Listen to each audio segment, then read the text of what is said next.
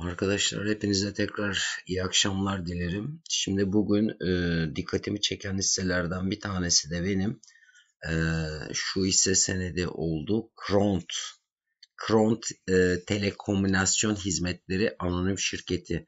Kront hisseleri e, geçmiş dönemde 23 e, TL 23 TL şöyle bir zirve yaptılar. Ee, şöyle bir e, düşüş e, trendine girdiler. Şöyle bir düşüş trendine girdi. E, bu yıl başında yani 2023 yılının 2023 yılının e, Aralık ayı yani 2023 yılının başları diyelim. E, oradan bir satış trendine giren e, Kront hisseleri şöyle görüyorsunuz. Sarı çizgi yapıyorum. Sarı çizgide e, çok uzun süre e, bir düşüş e, trendi e, yaptılar. Şimdi Kront e, hisseleri şu tarihte şu tarihte tarih e, bir ok işareti koyacağım. 20 Haziran seçim arkası seçim arkası e, 55 22 günlük ortalama 55 günlük ortalamayı kestikten sonra şöyle e, çok güzel bir yükseliş e, trendine başladı Kront hisseleri. Şöyle görüyorsunuz sarı çizgi çiziyorum. Soldan sağa doğru. Ee, çok güzel e, bir yükseliş trendi içerisine e, girdi Kron hisseleri. Fakat 8000 şöyle önce bir yükseliş trendini yavaşça çizeyim. Şurası şu iki çizgi arası şu iki çizgi arası e, Kront hisselerinin yükseliş trendini gösteriyor. Başladığı tarihte 20 Haziran'da yükselişe başlıyor. Tabii şöyle e, 8500 endekse geldiği zaman 18 18 TL 18,18 TL'de tekrar bir e, satış e, yiyor bu endeksin. E, İsrail Filistin olaylarından kaynaklı endeksin değer kaybetmesinden itibaren e, şu nokta zirve noktası yapıyor. 17.78 17.78'e kadar tırmanan Kront hisseleri e, şöyle bir e, kaybediyor. Yüzde kaç e, değer kaybına uğramış? Yüzde 34. Yüzde 34'lük bir değer kaybeden e, Kront hisseleri e, geçen e, şöyle tarih verecek olursam 26 Ekim bundan 5 gün öncesi e, bir tepki çıkışı vermeye başlıyor. Bir tepki çıkışı vermeye başlıyor Kront hisseleri. E, şöyle yeşil ok e, noktası yaptım. Yeşil ok göreceksiniz. Şimdi şurayı silersek. şöyle Kront hisseleri Kront hisseleri bir tepki çıkışı vermeye başlıyor. Son 5 ee, iş günü son 5 iş günü şöyle görüyorsunuz sarı çizgi e, yapıyorum. Tekrar bir yükseliş e, trendine başladı.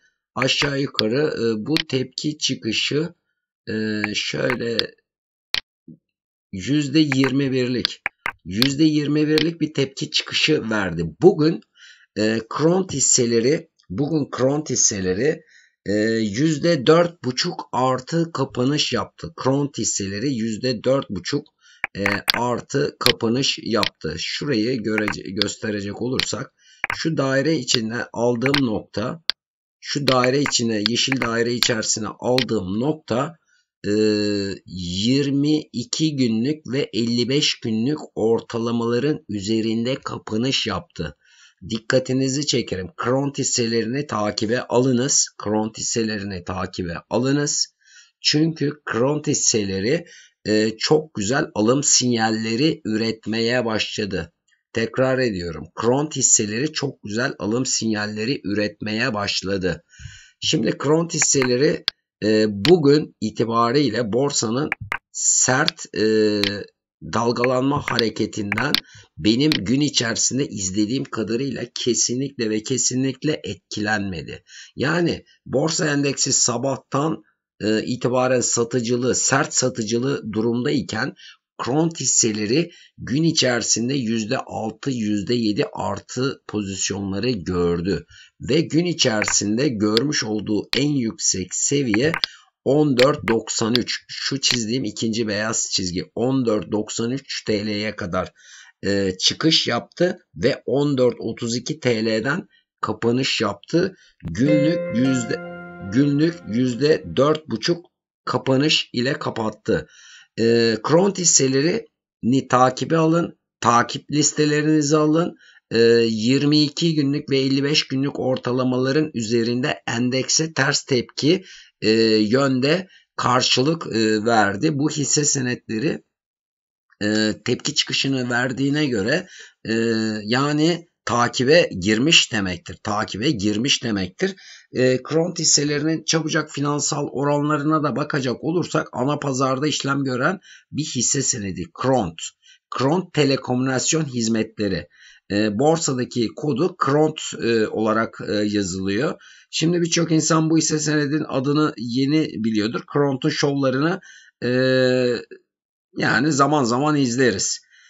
43 milyon dolarlık orta ölçekli bir borsa şirketi ana pazarda işlem görüyor. FK oranları %17 normal sayılabilecek e, bir durumda. F e, günlük işlem hacmi 77 milyon 77 milyon TL işlem hacmi yaptı. İşlem hacminde de bir fiyatı ile birlikte artış var. Dikkatinizi çekerim. Kront hisselerini takibe alınız.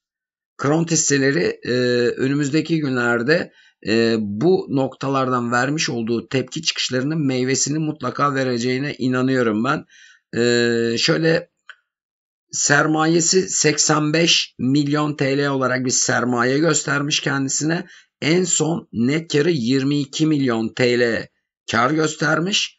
E, yani Kront hisselerinin e, finansal oranları kötü olmamakla birlikte halka açıklık oranları %58 biraz yüksek konumda.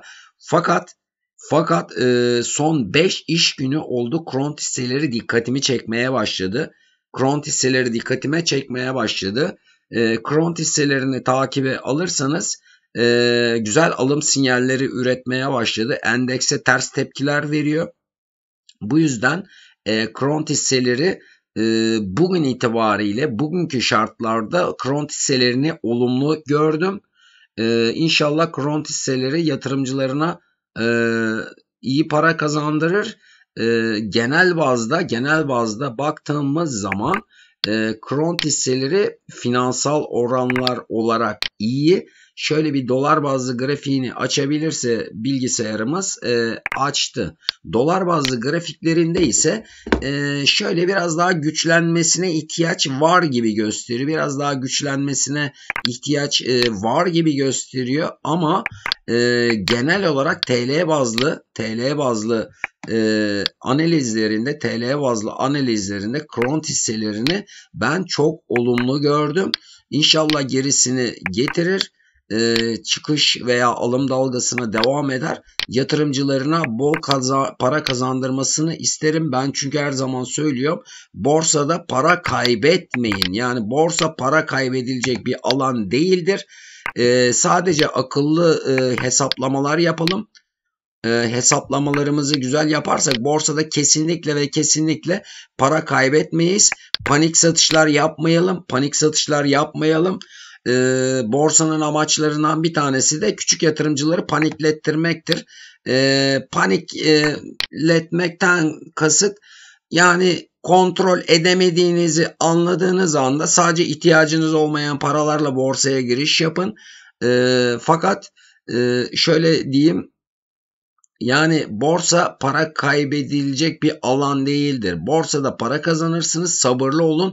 Hisse seçimlerine çok dikkat edin. Hisseleri doğru yerden, doğru noktalardan, doğru zamanlama yaparak aldığınız zaman borsada kesinlikle para kaybetmeyeceğini bilesiniz. Zaman zaman eksiye düşebilir aldığınız hisse senetleri.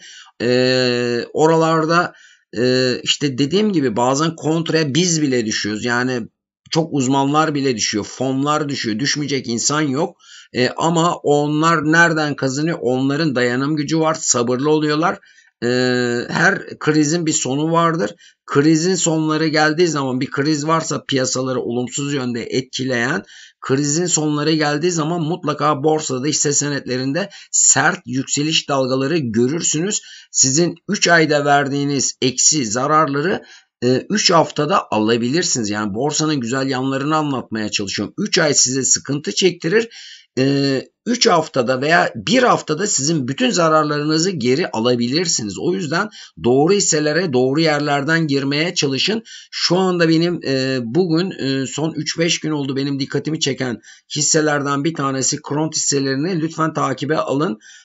Çok güzel işler yapacağına inanıyorum ben. Güzel bir şirket e, güzel yerlerden alırsak, zamanlamayı iyi yaparsak Kront'tan da güzel e, paralar kazanabilirsiniz. Herkese iyi akşamlar dilerim. Kront hisseleri hakkında söyleyeceklerim bu kadar. Kanalımıza abone olmayı unutmayın. Bizi takip edin. E, çünkü çok güzel analizler e, geliyor. Zamanlama ayarlarını iyi yapmanız lazım. İyi hisseleri doğru yerlerde yakalarsanız kendi bilgilerinizle bizim bilgilerimizi kıyaslarsanız para kaybetmek imkansız hale gelecektir. Yani bunu hiçbir zaman unutmayın. İyi analizler yapın. Hisseleri çok iyi takip edin. Çünkü sonuçta para bağlıyorsunuz. Yani para kaybetmenizi kesinlikle istemem yani. Herkese iyi akşamlar dilerim.